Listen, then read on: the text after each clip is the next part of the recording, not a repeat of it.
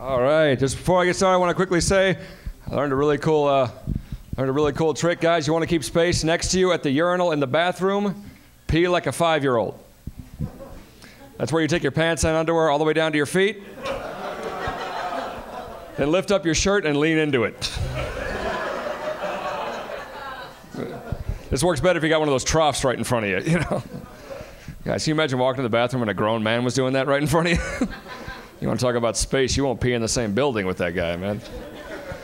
And we can learn from children. We can. Women want to look like children lately. They're shaving the whole, the whole thing gone. It's because it's got a really cool name, like Brazilian wax. Got a Brazilian. Want to see my Brazilian? Ladies, if they really called that what it looks like, no woman would ever get one. I got a 10 year old. Want to see my 10 year old? Check out my 10 year old, you know. Don't really want to see that, actually. No, not into that. Kids don't do everything differently. I was talking to this 16 year old kid the other day. He was telling me about a date he went on. He said, Yeah, I got to second base. Anybody aware we were still using base technology?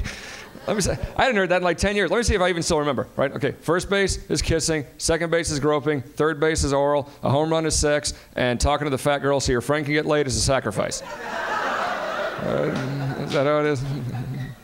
No, don't groan me. But I support the overweight more than most people do. I actually saw a girl the other day. She had to be at least 350 pounds wearing short shorts. Yeah, and everyone else is making that face. I was the only guy smiling because I appreciate that. She's making a powerful statement to the entire world. She's telling everybody, hey, if I got to look at this all day, so do you. That's just empowering. Gonna do, where are my Latinos? Latinos, applaud. Where are you? Where, let me, so here. Oh. Well, quit wearing your jeans in the ocean, because I've had enough of that.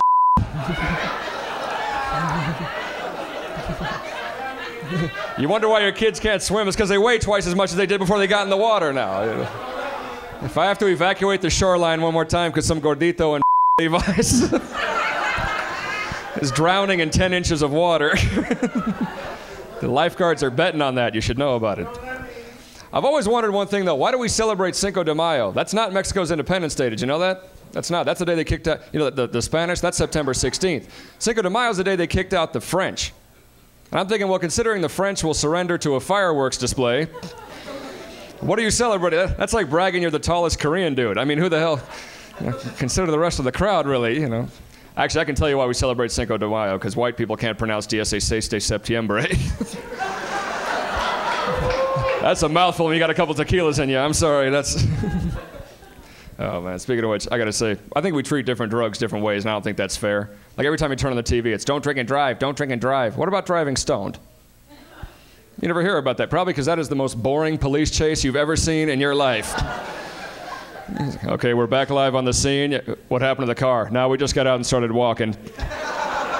Uh, we're going on hour number three, and the suspect is going on bean burrito number seven.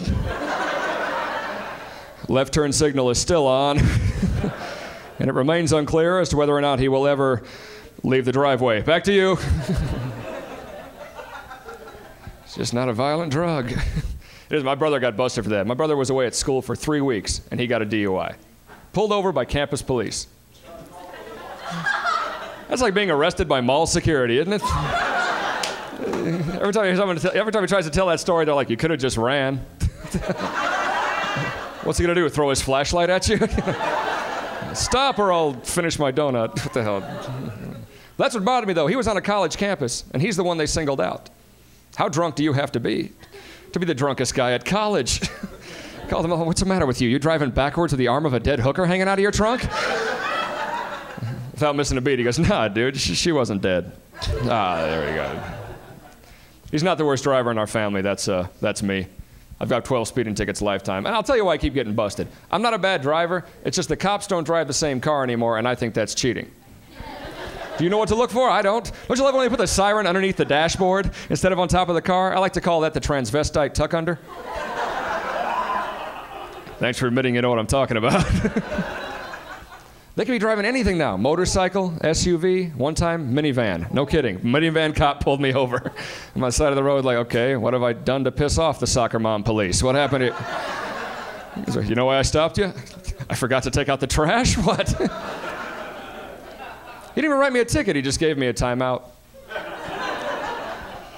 I'm a little bitter about that whole timeout thing. When I was a kid, timeout still meant wait here while I get the belt. Anybody else remember those days? Do you? Uh, you know, Don't. The whole timeout thing started later. I, I gotta say, I shouldn't joke about that because some people are still hitting their kids and too much too. Every year they catch somebody with a surveillance camera, right? Remember that mother that was hitting her daughter in the back of the SUV? Yeah, that was sad, but it shows you how much times have changed. You show that tape to somebody my age, we're like, that woman's crazy. Yeah, show that tape to your grandfather. He's like, well, that little girl must have really been mouthing off. My grandfather actually passed away recently, and uh, he was cremated, which is a horrible way to die. I wouldn't. That was an awful funeral. I meant afterwards, Grandpa. Don't make this harder, right? I love my grandpa, but he was cheap. Cheap. I remember he was trying to explain this to me on his death cot. He said, I have coupons, and keeled over. That was it. He made my mom cheap about certain things too. She's cheap about food. Anybody else grow up with a mother that doesn't believe in expiration dates? Like she won't throw away food no matter what is wrong, right? Like expiration dates are a suggestion to my mother. That's all they are. It's like if you're ever going to throw away this bologna, may we recommend July 8th. That's it.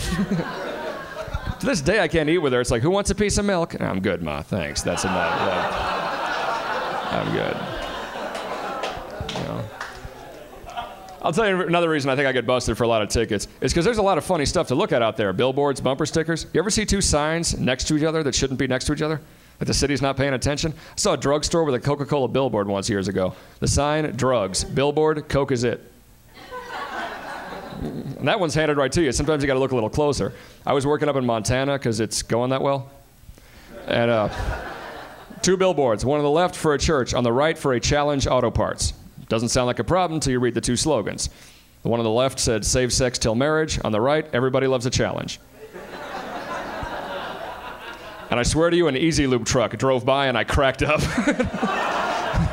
That's my time. Thank you guys so much.